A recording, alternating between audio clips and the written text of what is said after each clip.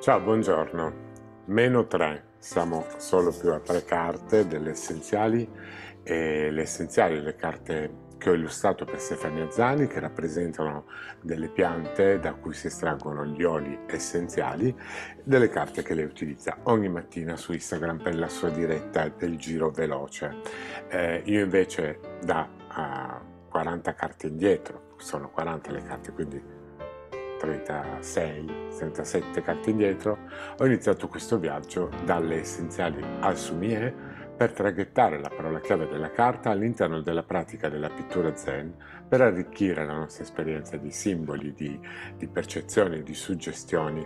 e eh, in qualche modo facilitare un viaggio dentro quel mondo, quella dimensione, ma soprattutto dentro noi stessi. Andiamo a vedere la carta di questa settimana che uscirà tra queste tre. Non posso neanche tanto mischiarle, faccio che spalmarle e tirarne su una.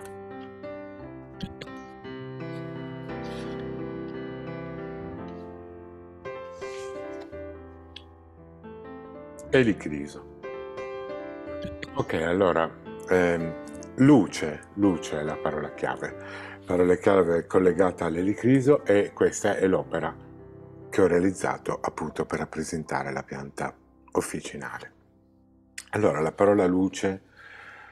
mi fa venire in mente subito l'ombra, il suo opposto, il suo opposto, ma perché opposto si fa per dire, nel senso che è la faccia della stessa medaglia, l'altra faccia della stessa medaglia di questa parola e anche nel suo significato. La luce eh, la interpretiamo molto spesso come appunto il divino, e adesso guardandomi in cam mi viene molto da ridere perché ho di nuovo questa maglietta che avevo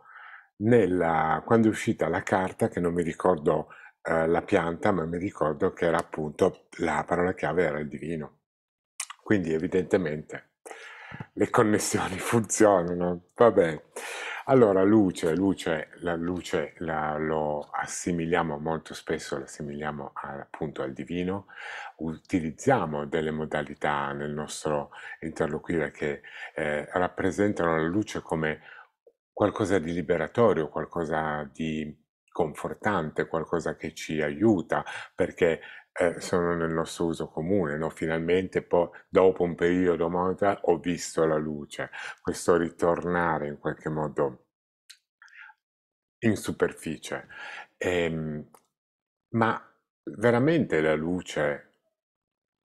e l'ombra sono non sono separate, eh, esattamente come noi, come tutti, tutti noi. Eh, come potrebbe esserci la luce se non ci fosse l'ombra? E co- come possiamo davvero definire ehm, in termini precisi cosa è la luce e, cos'è, e quando è luce e quando è ombra? Perché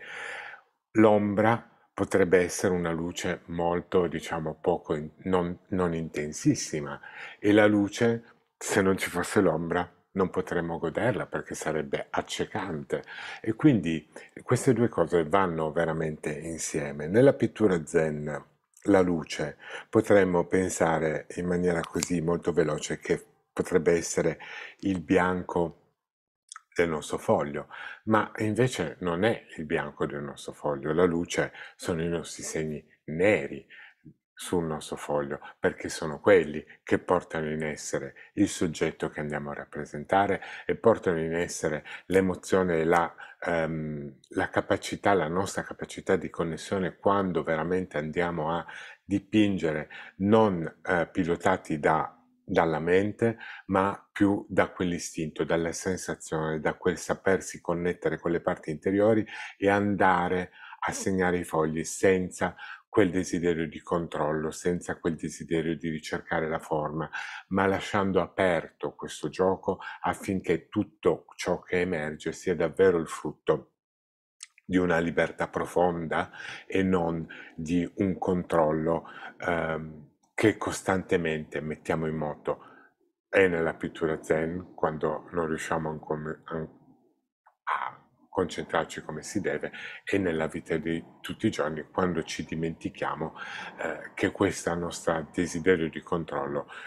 alla fine porta risultati più scadenti di non quando invece ci lasciamo fluire e accettiamo le cose per quelle che sono e ci ricordiamo che ogni cosa che incontriamo, ogni cosa che arriva porta con sé a un fine e,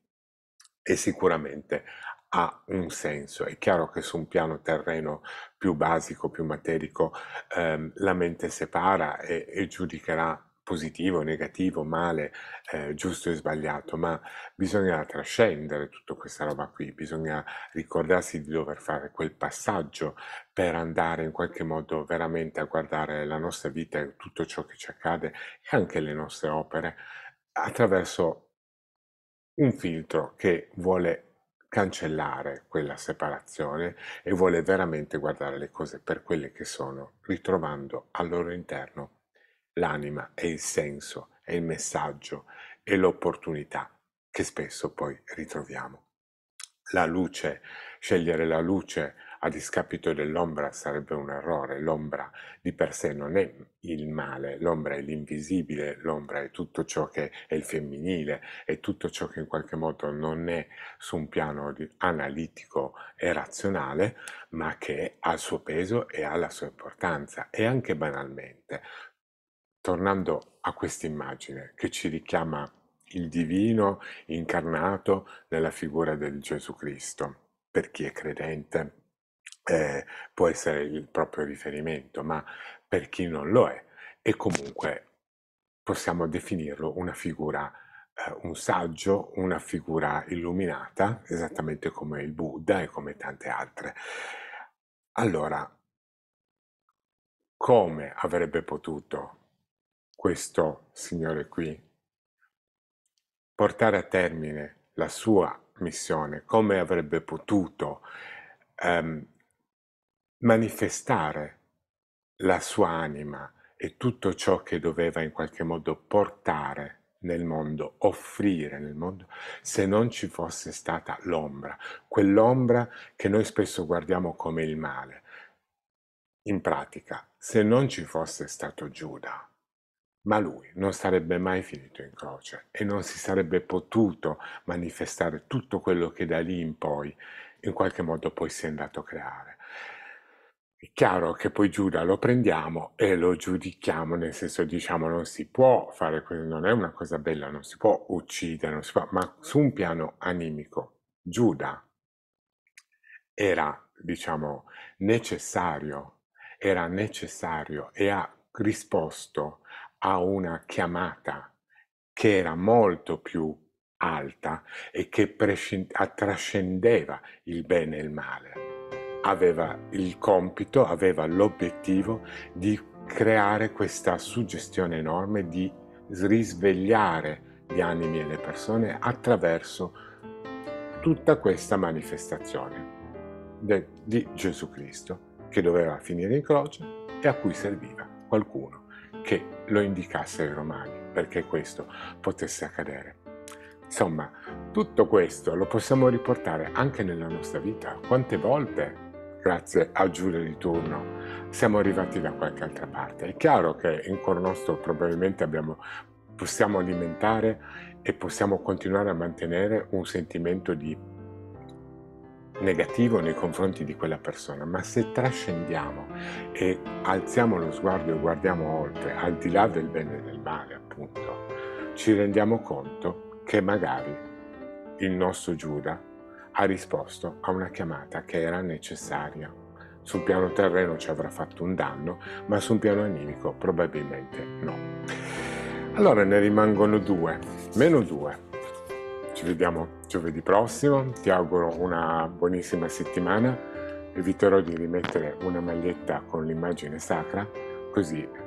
a parte che le due parole che restano non hanno a che fare probabilmente col divino, ma, ma perché no? Sempre c'è il divino. Quindi mm, diciamo mi libererò comunque da un'immagine così troppo condizionante. Ci vediamo la prossima settimana. Ciao, baci.